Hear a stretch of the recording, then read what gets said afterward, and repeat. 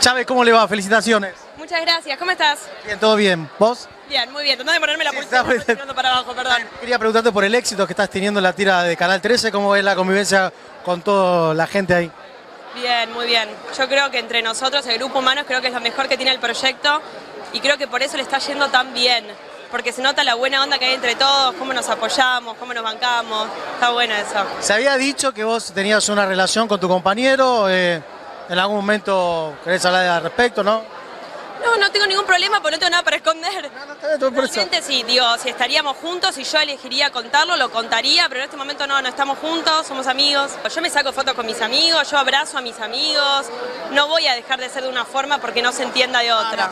Igual viste que también el tema de la amistad, te das cuenta que es un amigo y es gran persona y por ahí después te enamorás. En la vida misma ha pasado. Uno nunca sabe, sí, por supuesto. También quería preguntarte porque en algunas declaraciones con algunos medios dijiste que en un trabajo te hicieron, eh, te pidieron que tenías que bajar de peso. A mí me gustaría, y el mensaje que estamos dando es otro, ¿viste? Es, es esto es lo que somos y, y hay que... Es la realidad, digo, yo tampoco igualmente agradezco no tener rollo con eso igualmente. Yo me quiero como soy, pero la verdad que no fuimos educados para querernos como somos. La última que te hago, sabes que es nuestro trabajo, contanos lo que quieras. Sí, Por- claro. La China Suárez, Vicuña, el otro día en Implacable dimos la primicia que había una especie de conflicto, dijeron que no, pero después ellos salieron a blancar que sí, tuvieron ripidez, que estuvieron medio peleados. Ahí adentro se vio como un clima muy bueno, tenemos toda buena onda con todo, después ellos en su vida privada ni idea y tampoco lo llevan al trabajo. Si algo ocurre en la casa en privado, tampoco lo llevan al trabajo.